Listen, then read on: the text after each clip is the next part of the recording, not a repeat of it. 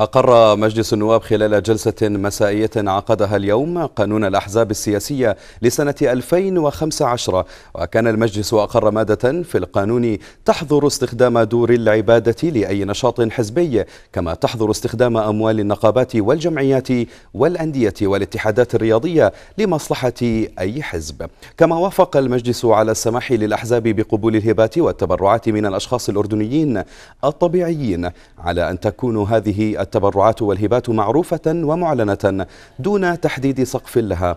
وفي ذات السياق أقر المجلس مادة تمنع تفتيش مقر أي حزب إلا بقرار من المدعي العام المختص وبحضوره وحضور ممثل عن الحزب. باستثناء حالات الجرم المشهود فيما تم إعفاء مقر الحزب من جميع الضرائب والرسوم الحكومية التي تترتب على أمواله غير المنقولة.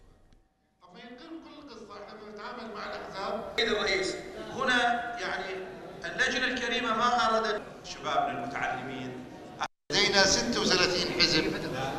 الآن جميعها تتلقى دعما ماليا مقداره 50 ألف دينار وهي مؤلفة من 500 عضو بالحد الأدنى من سبعة محافظات بنسبة 10% أعتقد أن أي تغيير على هذا الوضع القائم زيادة أو نقصان سوف يعرض عدد غير قليل من هذه الأحزاب أن لا تلبي شروط التمويل.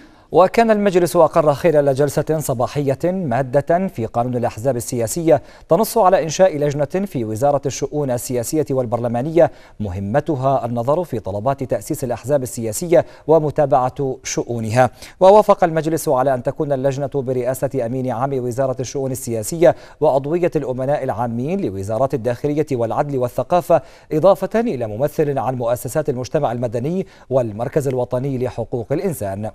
كما أقر المجلس مادة أخرى في القانون تلزم أي حزب سياسي بتضمين نظامه الأساسي اسم الحزب وشعاره وعنوان المقر الرئيسي له.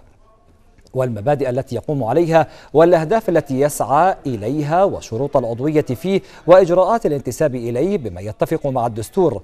وفي ذات السياق أقرت مادة في القانون تمنح مقدمي طلب تأسيس الحزب مهلة سنة واحدة لاستكمال تأسيسه وفي حال فشلهم في ذلك لا يحق لهم التقدم بطلب جديد لتأسيس حزب سياسي إلا بعد مرور ثلاثة أشهر.